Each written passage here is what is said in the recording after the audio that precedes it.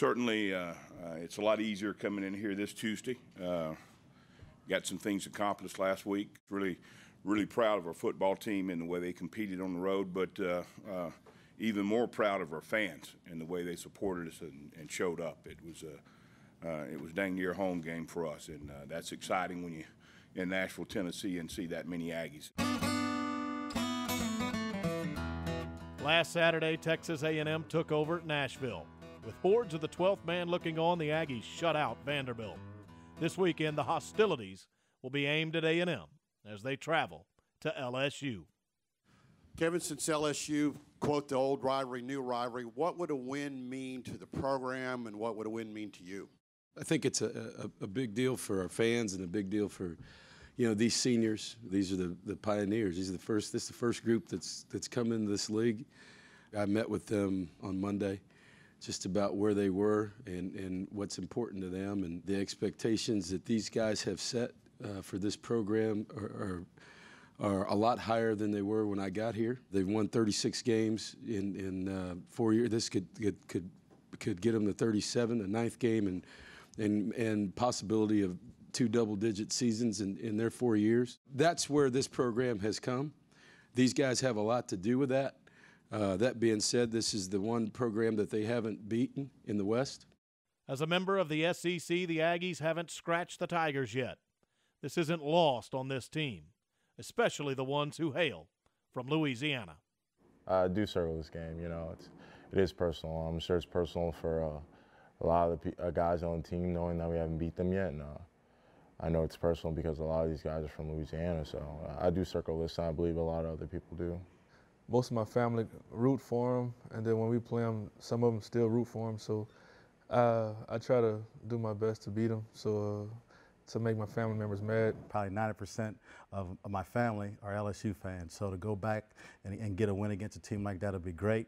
And then probably another big part of it is recruiting because I spent a lot of my time recruiting in Louisiana, and so uh, bringing our brand to the state and getting a win would be huge. Uh, we both in the same conference, uh, so it, it's like a rivalry. All games are important, but this one uh, got a little torch under me, and to me, it's like a little bit special. I'm just ready to uh, play it for my family and, you know, ball out. The time for talk is over. Only actions get you out of Death Valley alive.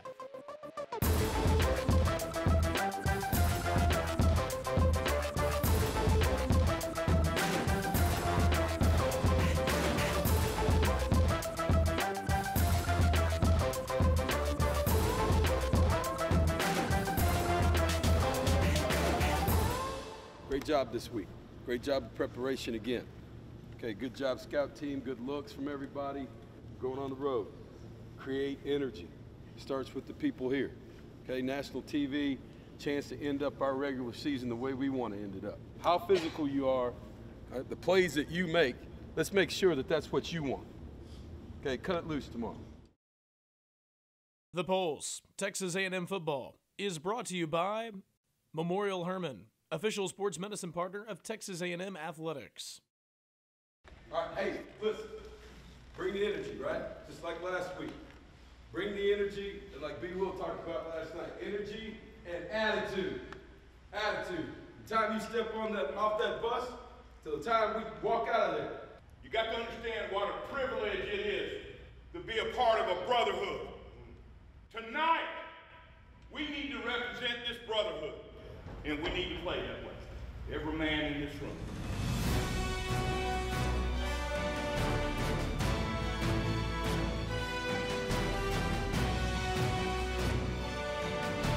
Tiger Stadium has a Roman Coliseum feel to it. The Aggies are fully aware it might take a gladiator like effort to prevail. Sacrifice everything! You know what Let's get it! Hey, be great! Always compete. Leave a legacy and enjoy life. Let's get it. It's time to go play, dog. It ain't time to look back. It ain't time to think about nothing. It ain't time to worry about nothing. It's time to go play football, dog. They don't respect us. Uh, nah, we gonna show them tonight, baby.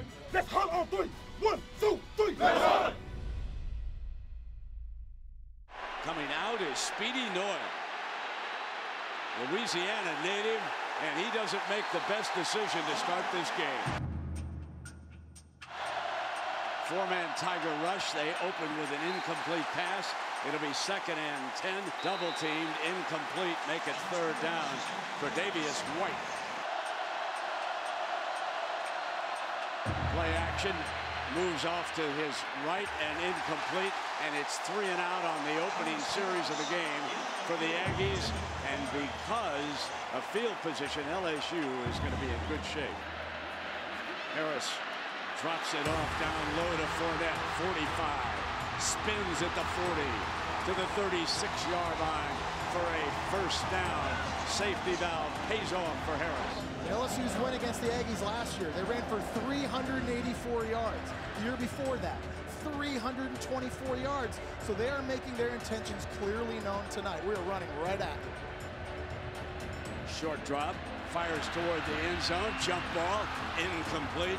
Excellent coverage by Harris. Harris from the gun, deflected, incomplete, and that forces a fourth down. And the 32-yarder is on the money. And this is Christian Kirk who's going to come out. The electric freshman. Fumble! LSU recovers. Two kickoffs, both disasters. Play action, and they're going to bring Guice around on an end around, and he's thrown for a loss back at the 25.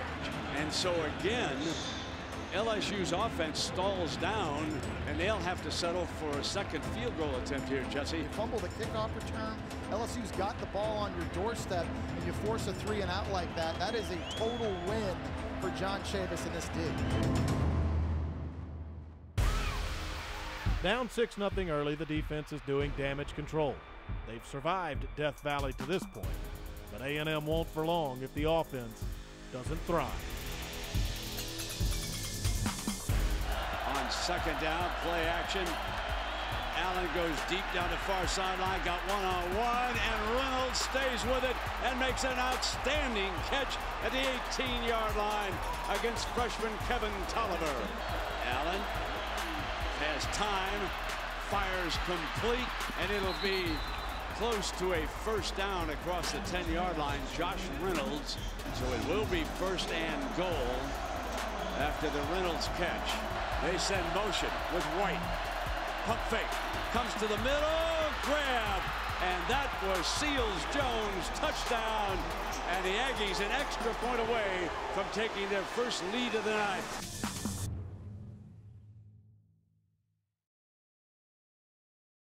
The Pulse, Texas A&M football, is brought to you by Pepsi, official soft drink of Texas A&M athletics. So this is going to be a third down. You got to imagine there's no mystery here. Quick huddle, expect number seven. Mouton, the lead blocker. And not going to get it. Everybody in the stadium and 11 Aggies ready for that. Washington hit him first. And give A&M credit for getting lined up quickly. That time, LSU tried to surprise them with the quick huddle and the quick snap. Texas A&M got in their three-point stance and fired off the football.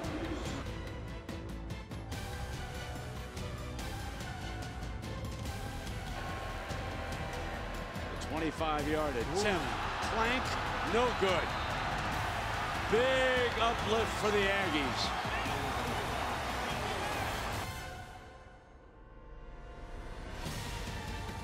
The defense continues to hold their own and keep LSU out of the end zone. For the most part, LSU is doing the same. A stalemate ensued.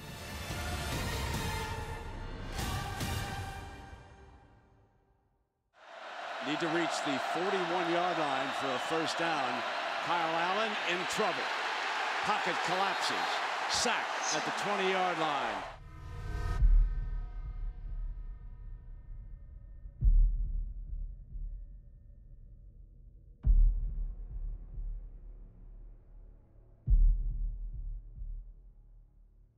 Taking over at the LSU 35 just before halftime, Kyle Allen starts to take control of the offense.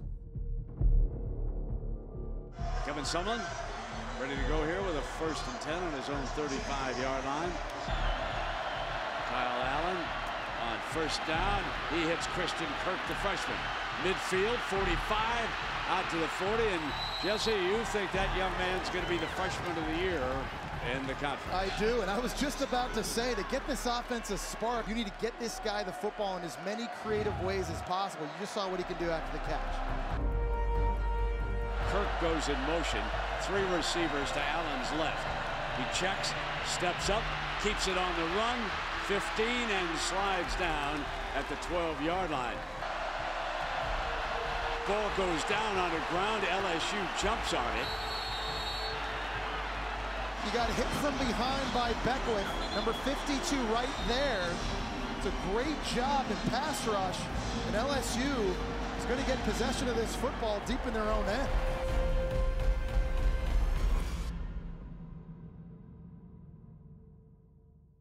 Hey, look, 30 minutes. 30 minutes of what you got. All right, defense,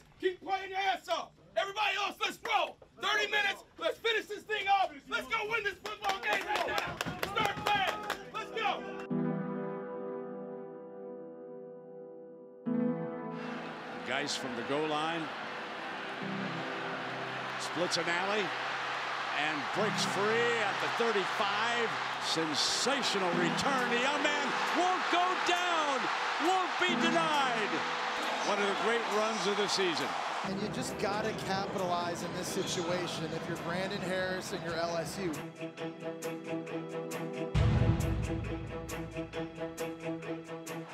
Nice job by Texas A&M. They got Myles Garrett, the best pass rusher in the SEC, lined up one-on-one pass rush, and it's no contest.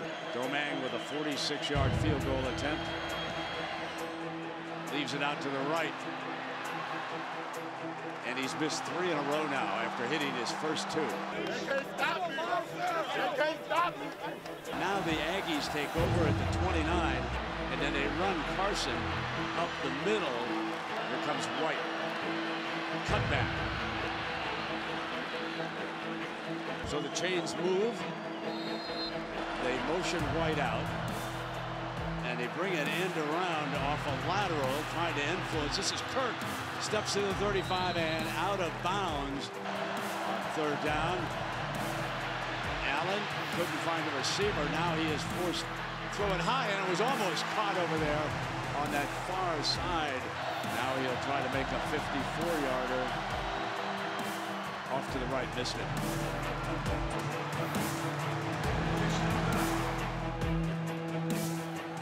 And they'll give it to Guice coming around the left side. Daylight, he had a great kickoff return. Put it on the board. 50 yards after a 75-yard kickoff return that led to nothing. Guys said, we'll leave nothing to chance this time. I'm taking it to the house. Come on, stay in. Gotta keep playing.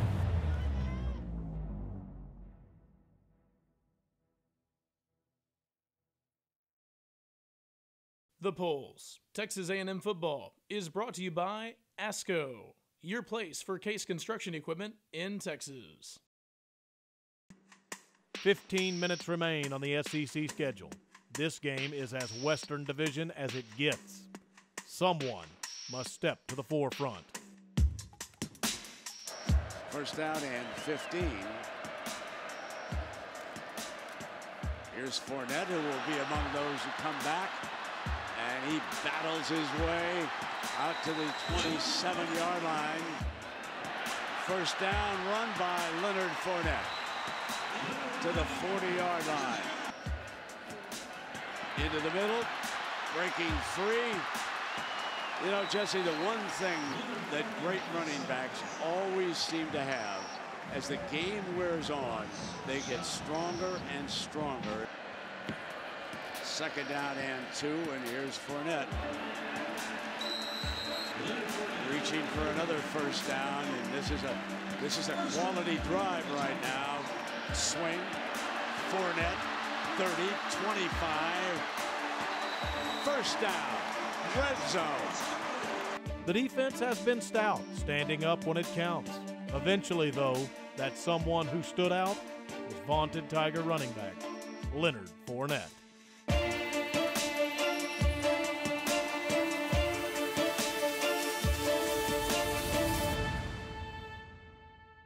The effort was there, not the result.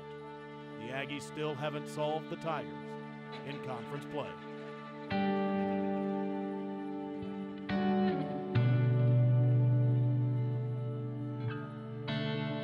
Well, you know, we had some issues. We turned them over three times.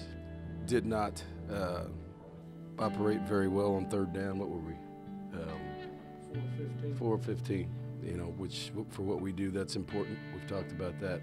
And then we got in a situation where we had to drop back and we had problems and issues in protection from the quarterback. You know, it's kind of hard when when uh, a quarterback couldn't set his feet to get the ball downfield. So, you know, but six minutes to go, it's a uh, it's it's it's a still a six point game. You know, you're in the fourth quarter, uh, you got a football game going, and you know they they closed it out and we didn't.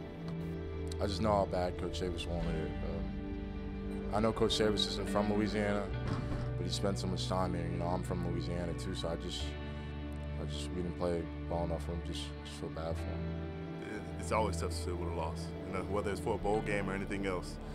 Uh, it's always hard to you know, bounce back from a loss. But, you know, if you bounce back, you should come back greater.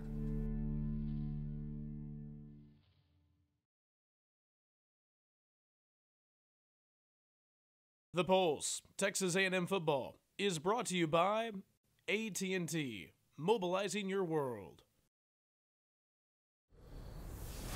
Taking a back seat to the headline was John Chavis's return to LSU on Saturday. He's forced a dose of SEC toughness upon the defense since arriving in Aggieland. When the Tigers notched a third quarter touchdown, it stopped a string of over nine straight quarters of play in which A&M hadn't allowed a TD. Anybody who's watched us the last couple of years knows that you know, our defense has really improved. Uh, first shutout a week ago in 11 years, uh, really playing well till the end. You know, we just ran out of gas. We had to do some things. If we could have done anything to help them offensively, you know, they probably would have had a little bit more spark there in, in, in that last quarter. You know, but you look up and six minutes to go um, in the fourth quarter, it's still a one-score game.